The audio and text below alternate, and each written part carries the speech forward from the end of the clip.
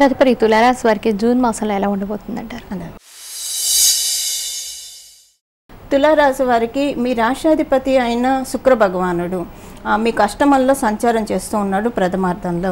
ద్వితీయార్థంలో ఆయన నవమ స్థానానికి వెళ్తారు. అలానే తులారాశి వారికి ఈ ఈ ప్లవనామ సంవత్సరంలో ఎటువంటి ఆధిపత్యం రాని శని భగవానుడు మరియు కర్మకారకుడైన శని భగవానుడు మీకు చతుర్థ స్థానంలో సంచారం చేస్తూ వక్రిస్తూ ఉన్నాడు మీ మదర్ హెల్త్ విషయంలో కొంచెం జాగ్రత్తగా ఉండాలి. గృహ ప్రయత్నాలు ఎవరైతే చేస్తూ ఉన్నారో వారికి సమయం చాలా అనుకూలంగా ఉంది. ప్రత్యేకించి ఫైనాన్షియల్ ట్రాన్స్ఫర్మేషన్స్ అనేది ఈ మాసంలో కొంచెం కొంచెం తీసు జరగడానికి అవకాశం కనిపిస్తుంది అంటే ఈ రాబోయే రెండు మూడు నెలల్లో ఎప్పుడైనా జరగచ్చు. ఈ మాసం అనేది దానికి ఒక అంటే ఒక రకమైన ఒక ముందడుగు జరిగే అవకాశము. అలాంటి అవకాశాలు మీకు వచ్చే అవకాశం చక్కగా ఉంది తులారాశి వారికి ఈ మాసంలో. అలానే చతుర్థ స్థానంలో వక్రిస్తున్న శని భగవానుడు.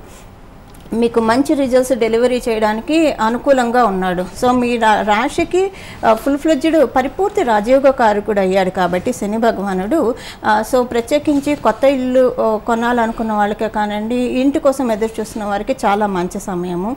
పెళ్ళి ప్రయత్నాలు ఎవరైతే చేస్తూ ఉన్నారో తులారాశిలో ఉన్నవాళ్ళు పెళ్ళి ప్రయత్నాలు చేసే వారికి ఈ మాసం వరకు పెళ్ళి ప్రయత్నాలు అనేవి కొంత పోస్ట్పోన్ చేసుకుంటే మంచిది.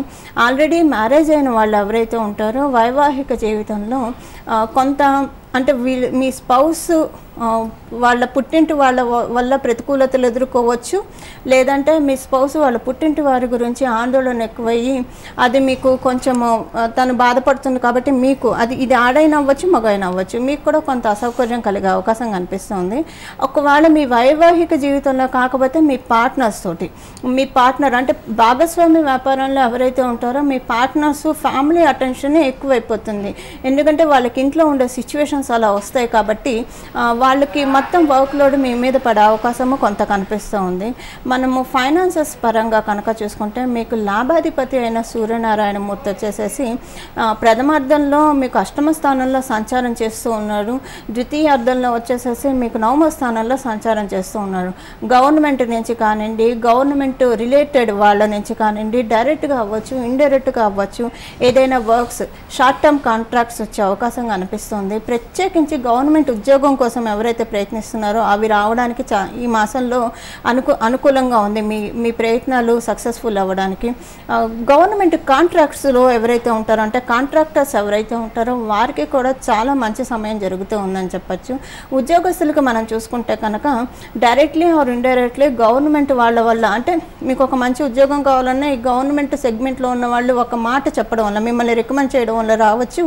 లేదంటే వర్క్స్ ఏదన్నా మీకు ఫ్రీలాన్స్ వర్క్స్లో ఉన్న వాళ్ళకైనా సరే ఉద్యోగంలో అయినా సరే కొంత గవర్నమెంట్ నుంచి కొంత ప్రతికూ అనుకూలమైన వాతావరణం కనిపిస్తుంది. ఒకవేళ గవర్నమెంట్ నుంచి కాకపోతే మీ జాతకం ప్రకారం మీ నాన్నగారికి చాలా మంచి సమయం జరుగుతూ ఉంది.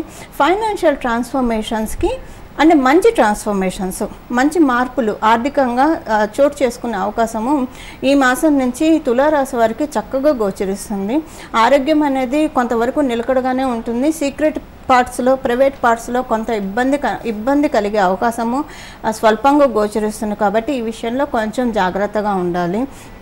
ఓవరాల్గా మనం చూసుకుంటే కనుక తులారాశి వారికి జూన్ నెలలో అనుకూలతలు ఉన్నాయి. స్వల్పంగా ప్రతికూలతలు ఉన్నాయి. ఓవరాల్గా మనం చూసుకుంటే కనుక జూన్ మాసంలో తులారాశి వారికి అనుకూలతలు ఉన్నాయి. కానీ దాంతోపాటు స్వల్పంగా ప్రతికూలతలు కూడా ఉన్నాయి కాబట్టి ఈ స్వల్ప ప్రతికూలతల నుంచి బయటపడి అనుకూలతల్ని ఇంకా పెంపొందింప చేసుకోవడానికి వీరు ప్రతిరోజు కూడా శ్రీ మహాలక్ష్మి అమ్మవారి ఆరాధన విశేషించి పానకం నైవేద్యం పెట్టి లేదంటే వడపప్పు నైవేద్యం పెట్టి పెసరపప్పు కొంత నానబెట్టి నైవేద్యం పెట్టి అది మీరు ప్రసాదం ఆ ప్రసాదాన్ని మీరు పొద్దున్నే ఉదయాన్నే బ్రేక్ఫాస్ట్కి ముందు అంటే మీరు అల్పాహారం తీసుకోవడానికి ముందు కనుక అది స్వీకరిస్తే కనుక మీకు తులారాశి వారికి ఎక్కువ శ్రీ మహాలక్ష్మి అమ్మవారి ఆశీస్సులు ఉంటాయి. తులా శ్రీ మహాలక్ష్మి అమ్మవారికి సంబంధించిన రాశి. సో మీరు రోజు కూడా ఈ జూన్ మాసం అనే కాదు ప్రతి నెల కూడా ప్రతిరోజు ఇలాగ పానకం కానీ పెసరపప్పు కానీ నైవేద్యం పెట్టడం ఆ నైవేద్యాన్ని మీరు అల్పాహారం ముందు స్వీకరించడం మొదలు పెడుతూ ఉంటే కనుక మీ ఆర్థిక పరిస్థితులే కానివ్వండి మీ కుటుంబ పరిస్థితులే కానివ్వండి దినదిన ప్రవర్ధమానం అవుతాయి. శ్రీ మహాలక్ష్మి అమ్మవారి కృపా కటాక్షాల వల్ల.